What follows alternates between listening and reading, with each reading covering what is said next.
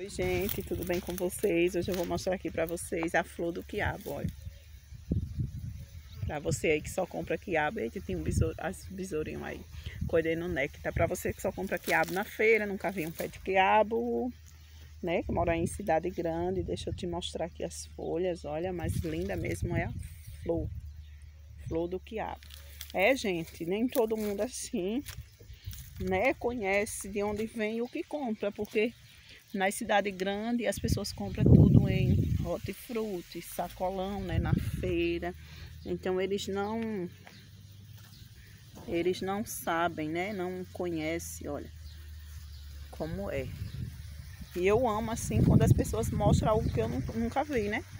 Eu gosto. Não sei se vocês gostam também ou se vocês acham, né? Ai, que chatice. Olha só que linda. Tem gente que fala isso, ai que saco, que besteira, uma flor de quiabo. Mas a pessoa já conhece, né? E quem não conhece, gosta de conhecer, né? E é aí, olha aí, linda flor de quiabo. Então é só isso, gente, para vocês verem a flor do quiabo. Olha só.